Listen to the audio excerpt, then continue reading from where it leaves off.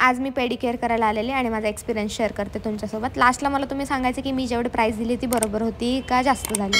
तर सगळ्यात पहिलं ते माझ्यासमोर एक प पर्पल कलरचा किट घेऊन आले आणि ते किट पाहून मी थोडीशी अट्रॅक्ट झाले. बिकॉज चार स्टेप असतात तर इथे सहा हे होते बॉक्स होते आणि दोन अजून पॅकेट होते आणि अजून एक असा गोल राऊंड होता. तुम्ही पाहिलं ते छडीसारखं. मला इम इम्प्रेस झाले मी की हे नक्की काय तर सगळ्यात पहिलं त्यांनी माझ्या पायाला जेल घेतलं आणि ते पायाला क्लीन करण्यासाठी लावलं पाण्यात पाय टाकण्याआधी.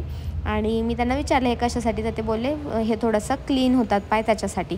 मग सगळ्यात पहिलं ते खाली माझ्या तळव्यांना लावत होते तर थोडासा जेल असल्यामुळे थंड पडत होता.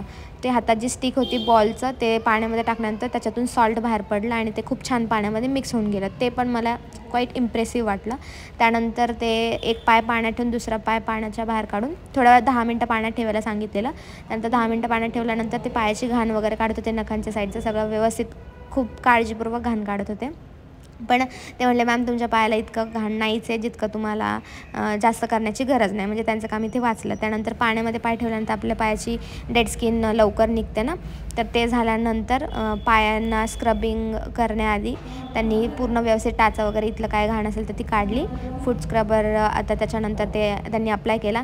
मोस्टली स्क्रबर करताना आपल्याला नेहमी असं स्किनला खूप असं ते टोचत असतं मिठासारखं. पण हा स्क्रब त्यांनी जो यूज केला तो यू लावल्यानंतर त्या स्क्रबिंग करताना त्याच्यानंतर ते असं खूप एकदम मऊमध्ये झालं. त्याचं रूपांतर असं खड्यांसारखं टोचत नव्हतं. त्यानंतर त्यांनी पॅक लावला. पॅक लावल्यानंतर त्यांनी दहा मिनटं ठेवला होता.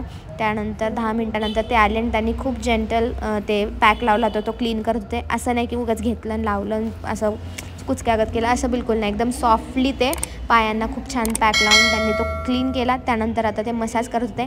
मी पेडिकेअर करण्याआधीच त्यांना सांगितलं मला सगळ्यात चांगलं काय हवं असेल तर मसाज हवी आहे.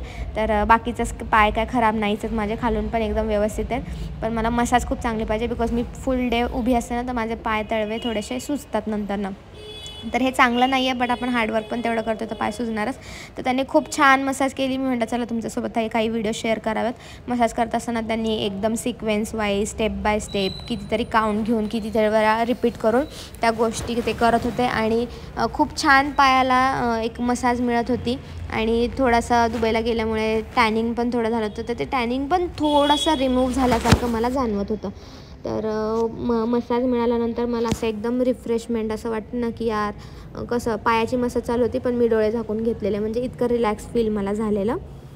आणि दोन्ही पायांची छान मसाज झाल्यानंतर ते पूर्ण तळव्यांना पण खूप चांगलं मसाज करत होते. असं नाही की पटपण काय काहीतरी केलं म्हणून केलं.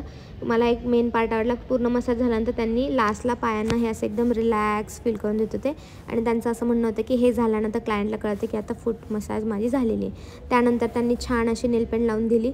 लास्ट टाईमला पण मी त्यांच्याकडे पेडेघर केलं होतं तर ती नेलपेंट पूर्ण बॅच असतोपर्यंत तशीच होती. स्टुडंटने विचारलं पण होतं की कोणती नेलपेंट आहे मी ह्या वेळेला बघणार होती की कोणती नेलपेंट आहे पण मी ह्या वेळेला पण विसरून गेले. सो नेक्स्ट टाईमला मी बघेल आणि नक्की सांगेल कोणती नेलपेंट. आहे तर मी काय कुठल्या सलूनचं प्रमोशन नाही करत आहे त्याच्यामुळे इथे काय विषयच येत नाही कोणत्या सलूनचं नाव वगैरे घेण्याचा. मी जस्ट फक्त माझा एक्सपिरियन्स शेअर करते आहे. लास्टला हे दे हे जे दोन पाऊंज दिसत आहेत ते त्यांनी मला गिफ्ट दिलं. तर सुरुवातीला जो विचार केला होता की याच्यामध्ये नक्की काय तर तुम्हीच तुमच्या डोळ्याने पहा. वरचा जो बॉल आहे त्याच्यामध्ये एक अँकलेट आहे. हे सुद्धा मला खूप इम्प्रेसिव्ह वाटलं. त्या अँकलेट आपण पेडिकेअर केल्यानंतर मी त्यांना म्हटलं की तुम्हीच माझ्या पायात घालून द्या. त्यांनी छान ते माझ्या पायामध्ये घातलं. आणि ते पहा की पायात घातल्यानंतर किती छान दिसते खरंच कोणीतरी म्हणलं की मुलींच्या पायामध्ये पैंजण खूप चांगलं दिसतं पण आता आपण मॉडर्न झालोत ना तर आपण दोन पायामध्ये पैंजण घालून नाही फिरत. पण अँकलेट अजून छान वाटतात एका पायामध्ये. सो मी ते अँकलेट घातलं त्यांनी दिलेलं. त्या गिफ्टमध्ये ऑलरेडी होतं तर मी म्हणले मी असंच कुठेतरी टाकून दिलं त्याच्यापेक्षा मी पायात घालते. माझ्या पायात अँकलेट जास्त दिवस राहत नाही तुटून पडून जातं. कोणतं पण घातलं तरी पण ते लगेच तुटतं. आणि हे दोन पाऊंच होते ते रात्री माझ्या मसाजसाठी लावण्यासाठी होते त्यांनी ती प्रोसेस सांगितली. आणि ही जी राऊंडवालं छडी आहे त्याच्याखाली सीड्स आहेत ते कुंडीमध्ये टाकायला सांगितलं आणि ती अख्खी पेन्सिल आहे. तर अशा प्रकारे या पेडिकेअरचे मी टू थाउजंड फाय हंड्रेड म्हणजेच अडीच हजार पे केले आणि माझी मेंबरशिप असल्यामुळे मला ते दोन हजारमध्ये मिळालं. तर मित्रांनो काय वाटतं तुम्हाला पेडिकेअरसाठी जी मी प्राईस दिली ती बरोबर होती की जास्त झाली? जी सर्विस मला मिळाली त्याच्यासाठी प्राईस बरोबर आहे की नाही ते कमेंट करून सांगा.